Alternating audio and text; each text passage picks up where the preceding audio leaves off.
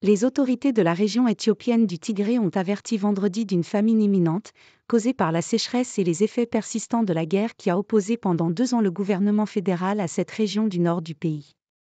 La famine est imminente au Tigré.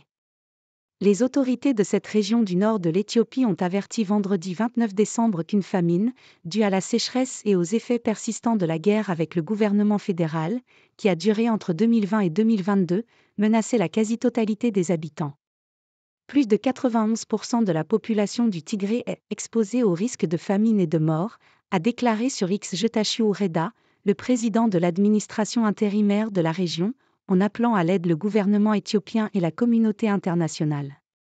Le dirigeant du Tigré est allé jusqu'à comparer la situation à la famine des années 1980, qui fit environ un million de morts en Éthiopie.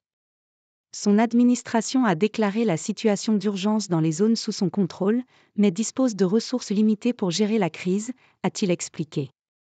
Le gouvernement éthiopien et la communauté internationale ont fait leur part pour faire taire les armes. Ils doivent désormais faire leur part pour faire face à la catastrophe humanitaire imminente, a lancé Getachew Reda.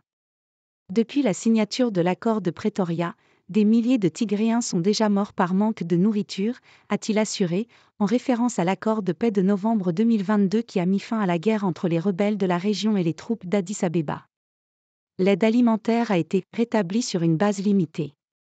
La situation sur le terrain dans le nord de l'Éthiopie ne peut être vérifiée de manière indépendante, car l'accès des médias au Tigré est restreint par le gouvernement fédéral.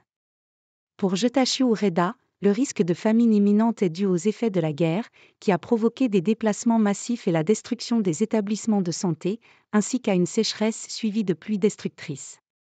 À ces deux facteurs s'ajoute cette année la suspension temporaire de l'aide des États-Unis et du Programme alimentaire mondial, PAM, de l'ONU.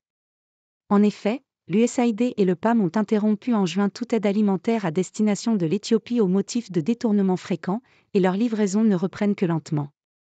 Bien que l'aide ait été rétablie sur une base limitée, ce qui parvient aux nécessiteux n'est qu'une fraction de ce qui serait nécessaire pour répondre aux besoins actuels, a déclaré Getachew Reda.